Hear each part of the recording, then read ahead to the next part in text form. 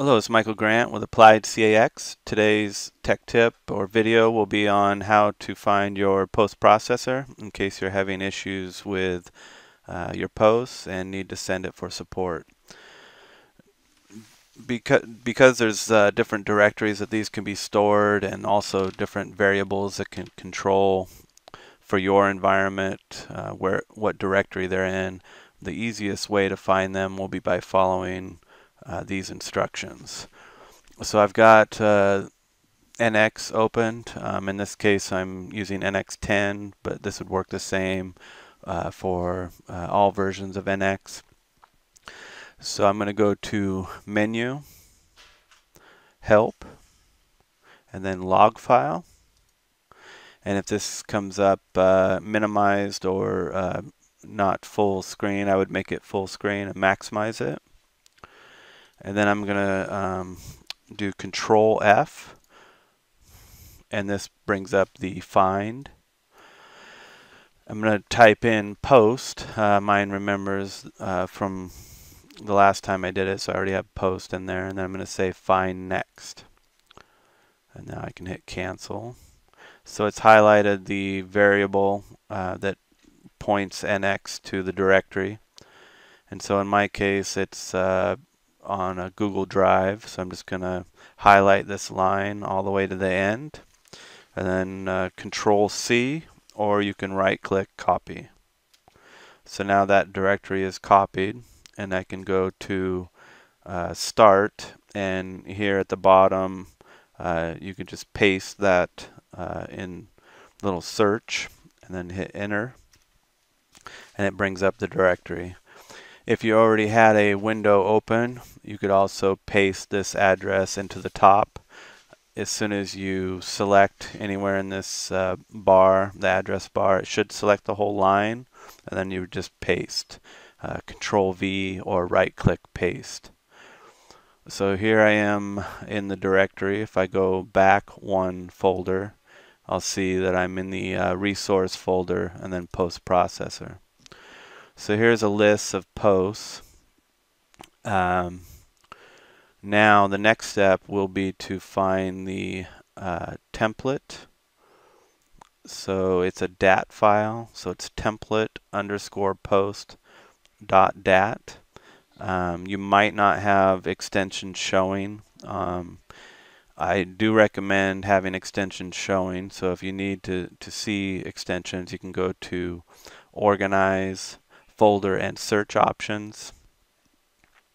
And then under view, uh, you're going to want to uncheck the hide extensions. Alright, so now um, if you have a notepad or notepad++, um, you can right click this file and say open. Uh, in my case, I have Notepad++, which is a free tool, and I highly recommend it. It adds a an extension to just open it in Notepad++ from here. So I'll show that. Um, I'll also show if you don't have Notepad, you would just go to Open. Uh, mine's my Open is set to Notepad++, so let me try that again. I'll say Open with. Um, mine already has a default, so I'm going to show you if, if it does pop up and ask you what program to use. You'll get a window like this. In my case, I'm not going to say always because I don't want to switch what it uses. Um, but you can leave this checked if uh, you want to use the tool that you're selecting every time. So I'm going to say plus and it will show me other programs that can open it. If you have CIMCO, you could open it with that. Um, Notepad, that's something that's installed on every Windows or should be. Um, that's probably what I would recommend if you don't have Notepad++. WordPad or Word can open it, but it can also add characters because it's not a true uh, text editor. And so I, I, don't recommend those because they can add uh, hidden character types that can cause uh, failure. So I'll go ahead and show you what it would look like in Notepad. And so, uh, you know, it's readable in Notepad. Alright, so I'm going to switch back over to the tool I have. So what you have here is basically a list um, of the posts that you currently have available when you go to uh, post a program. Here we use mostly um, SimKits or uh, G-code simulation, full G-code simulation, and so we don't have a lot of posts in, on this file because when you pull up a SimKit, it automatically links to the posts. But uh, in your case, you might not have SimKit, so you'll you'll be using primarily this template underscore post.dat file. So what you have is a list. Um, anything that has a uh, hashtag or pound symbol is basically it's like a comment. It won't show those lines. So while you're in here, if you have, uh, you know, you don't have a wire EDM or there's certain machine tools you don't have, you could you could uh, comment those out so you don't have such a long list of posts.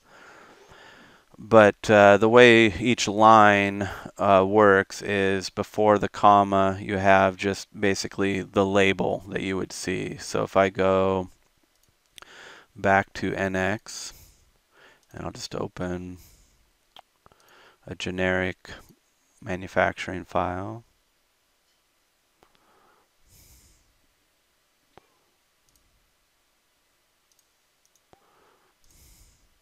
So here's that list. You can see that we were looking at starts with wire EDM.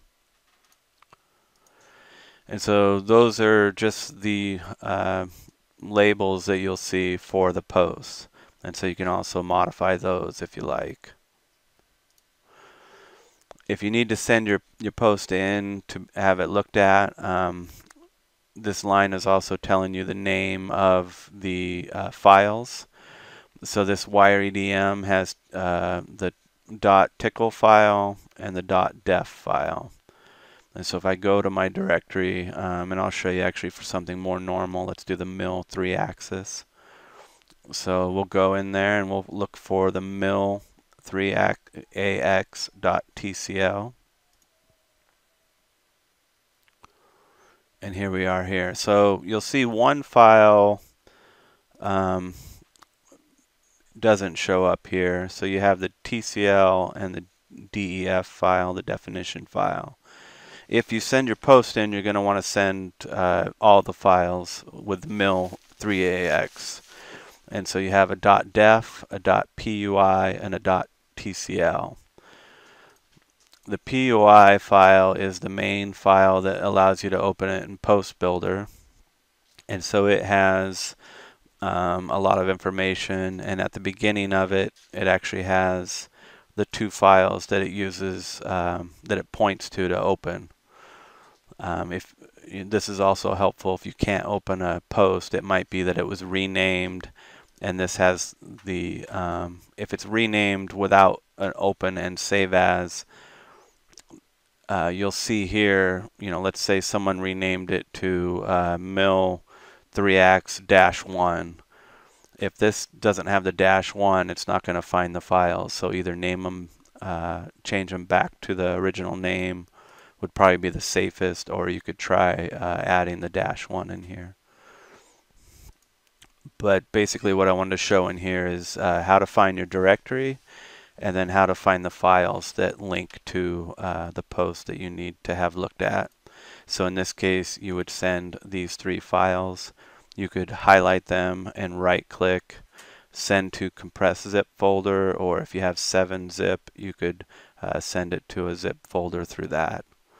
Um, I'll just say send to compress zip folder and then it's put all those files into a zip and so you would email that.